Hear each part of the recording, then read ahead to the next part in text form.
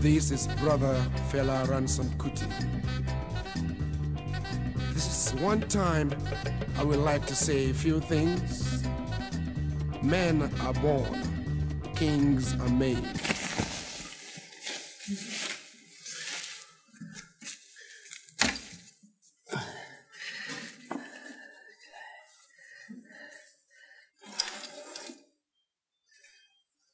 I got up at dawn and collected this from the bottom of the well Oh, when the water is freshest. Oh, I see. Oh, from my tap. Mm.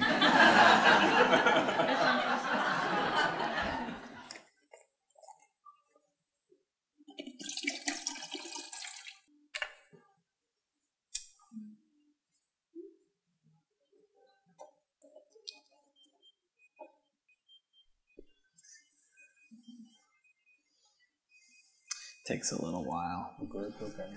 I'm interested in space exploration. Mm-hmm. That's my one of my main studies. And when you go to other planets, it's just like going camping. Mm-hmm. You, you have to plan everything. If anything goes wrong, everyone dies. Right.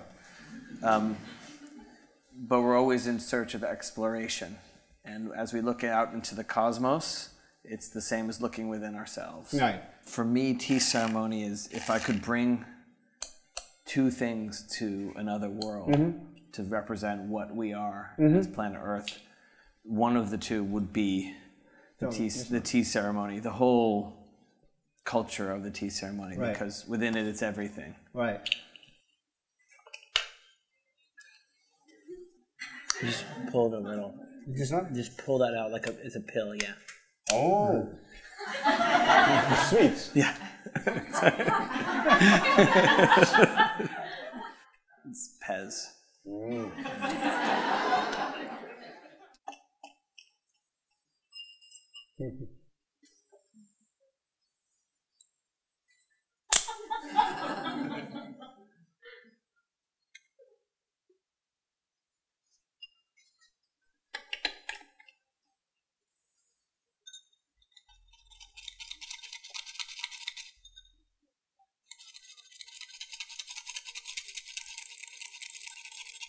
There are some moments in the tea ceremony when I get a, a gesture and I practice it where I'm, I'm beginning to learn that calm, but it's takes years to, to find, and, and I've been doing making stuff for 30 years. So I'm, I, when I'm in the carpentry shop, that's where I'm like Mike, Michael Jordan, the basketball player who can, like the greatest ever, maybe.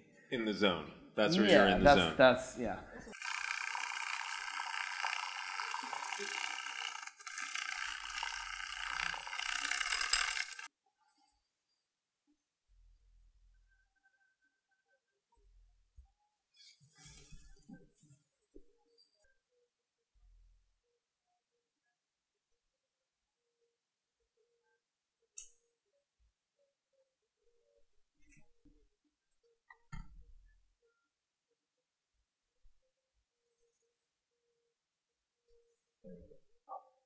Thank you.